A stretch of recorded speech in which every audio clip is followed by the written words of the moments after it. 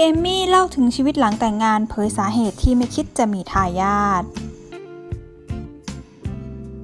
เรียกได้ว่าขึ้นท่านพิธีกรอย่างเต็มตัวแล้วค่ะสำหรับซีซีวัตนะคะ โชติชัยชริน อดีตพระเอกดังที่ช่วงหลังหันไปเอาดีทางด้านพิธีกรแทน อีกทั้งยังโด่งดังแบบสุดๆค่ะ ปัจจุบันนะคะ อย่างที่ทราบกันดีว่าเขาได้แต่งงานกับภรรยาสาวเอมี่กลิ่นปทุมเป็นระยะเวลานานแล้ว แต่ทั้งคู่ยังไร้วี่แวว ซึ่งมี ที่จะมีทายาทค่ะ เอมี่กลิ่นปทุมเปิดใจผ่านรายการแฉเมื่อมดดำกระชาพาถามเกี่ยวกับเรื่องลูก เมื่อไหร่จะมีลูกสักที เอมี่ได้เล่าผ่านรายการประมาณว่าสรุปแล้วไม่น่าจะมี เป็นความคิดตั้งแต่แรกแล้วเหมือนเราพยายามจนเลิกพยายามแล้วแหละ เราเลยรู้สึกว่าเราเอาดีด้านการสนับสนุนหลานดีกว่า มันวุ่นวายนะกับการที่เป็นภรรยาของคุณซีซีวัตคือเขาไม่ใช่คนที่จะอะไรก็ได้ เราต้องดูแลเขาในหลาย ๆ ขั้นตอน มันค่อนข้างที่จะเหนื่อยแล้ว คือมีสามีเหมือนมีลูกนั่นแหละ แต่บางทีเขาก็จะงองแงงไม่มุมงองแง แต่เวลาออกนอกบ้านก็จะทำงานเป็นผู้ใหญ่เลย ซี่ไม่ยอมทำการบ้านเพราะเล่นแต่เกมจริงไหมเอมี่บอกว่าไม่หลอกตอนแรกสุด เราตั้งใจว่าจะไม่มีแต่พอไปไปมาเห็นหลานลูกของเอมี่มรกตเอ๊ะถือจะมีแต่พอเกิดช่วงโควิด และอะไรต่อมีอะไร